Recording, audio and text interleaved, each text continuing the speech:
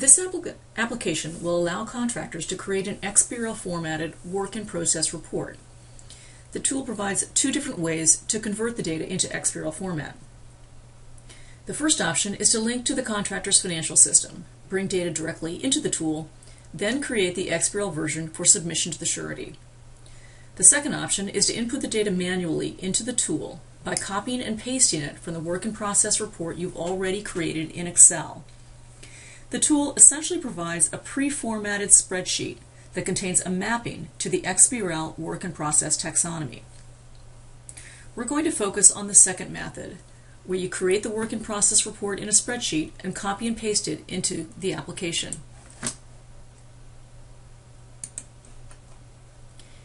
Here we're looking at the construction contracts in progress. This is a sample construction company, and you can see that they have five different contracts in progress. Highland Center, WT Plaza, Plaza Center, Commerce Center, Silver Lake Center. You can also see that they have miscellaneous contracts in progress under $10 million. We'll be able to report all of these values in XBRL format. The data reported includes estimated costs and revenues for the total contract, and then for time periods from inception to December 31st, for a point in time at December 31st, and for the year ended December 31st. We're now going to go to the application itself, which you'll see looks essentially just like an Excel spreadsheet. This Excel spreadsheet has been mapped to the work in process taxonomy. The contractor is required to do a one-time mapping of the contracts. So you'll see here the same contracts, or they can also be called jobs, as reported in the previous sheet.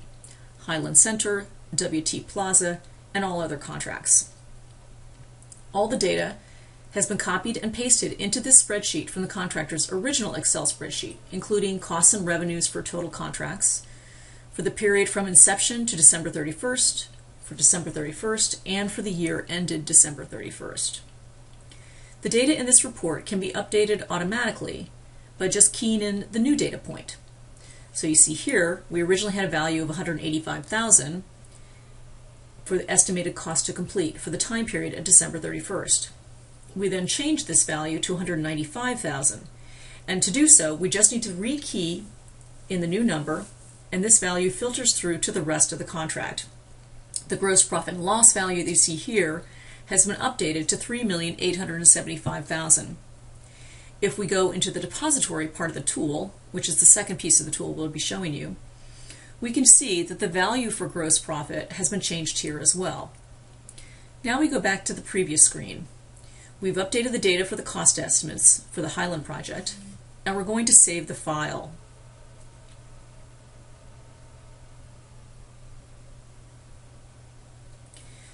We're now going to synchronize the file, and this typically takes about 20 to 30 seconds. Synchronizing ensures that the revised data we've created carries through to the XBRL version of the document. So for a contractor who's generating a revised work in process, they just need to key in or cut and paste in the updated values and then synchronize the document. This will automatically update the data that they're going to be reporting in the XBRL version of the work in process report. Our next step will be to go to the depository section of the tool and we'll pull up the report that we generated. You'll see here that there are multiple reports available. We click on the contracts in process and this is going to show us the data that's been updated.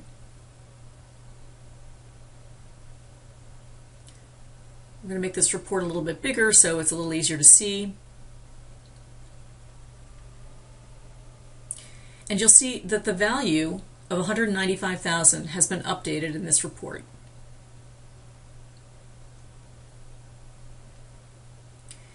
You can mouse over each of these elements to see the attributes of the facts reported. Those attributes include concept name, time period, scales, decimals, label.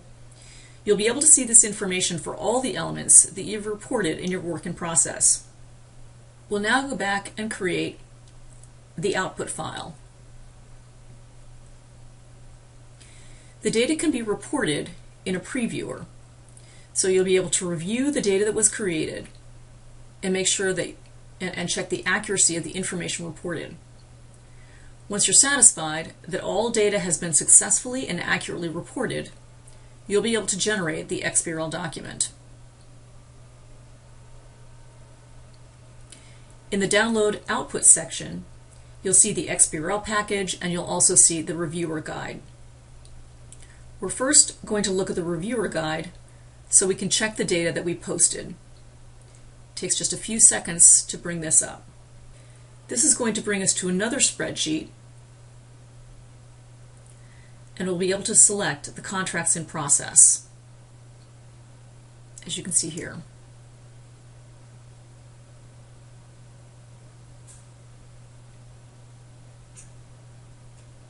In column A, we see the concept names.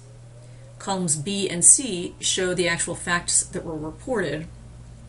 And here we can see with 195,000 has been updated. And in subsequent columns, you'll see the attributes of each of the values, including concept name, type, which indicates if the value is a monetary or a string type, instant or duration for period type, units, which here on USD for US dollars, balance type, which is credit or debit, and then there's also a column where we can post a comment. This file needs to be exported and saved. So here first we're going to save it and then we'll export it to Excel on our desktop.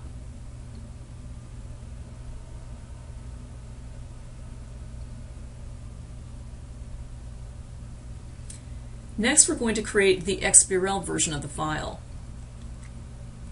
This creates a set of files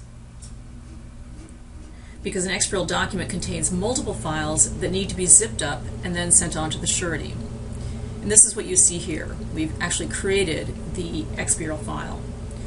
Once the surety receives the zipped XBRL file, they can automatically extract the data and ingest it into their systems. It will contain all the information needed, which includes reporting entity, values reported, and time period.